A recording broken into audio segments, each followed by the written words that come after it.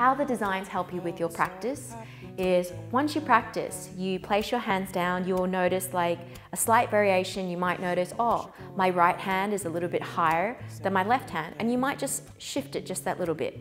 When you step your foot forward going into a lunge or a warrior, you might notice your heel is slightly turned in or your foot is slightly turned in, and you'll make the slight adjustment to help you straighten it simply because of the image.